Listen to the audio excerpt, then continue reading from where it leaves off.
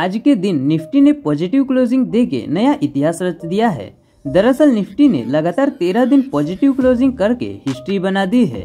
Friday के दिन American market positive था तो कहीं ना कहीं संकेत तो था कि हमारे मार्केट को इफ़ेक्ट करेगा।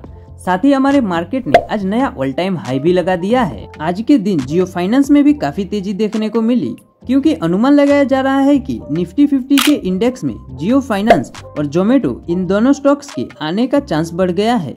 इसमें भी जियो फाइनेंस का चांस तो ज़्यादा दिख रहा है, लेकिन कल का मार्केट काफ़ी डिफ़िकल्ट रहने वाला है, क्योंकि सेबी के चीफ माधवी माधवीपुरी बुच पर नए आरोप लगाए गए हैं। अभी थोड़े समय पहले ही हिंडनबर्ग ने तो आरोप लगाया ही था, लेकिन उसके बारे में ज़्यादा कुछ निराकरण देखने को नहीं मिला। लेकिन इस बार फिर कांग्रेस की तरफ़ से सेबी चीफ पर आरोप लगाए गए हैं। और कहा गया है कि इस डाउट्स को पीएम क्लियर करेंगे। कांग्रेस का कहना है कि सेबी चीफ ने आईसीआईसीआई बैंक से 16.8 करोड़ रुपए रिसीव किया है। तो ये पैसे क्यों रिसीव किए हैं? तो इसका जवाब या फिर इस डाउट को क्लियर पीएम खुद करें।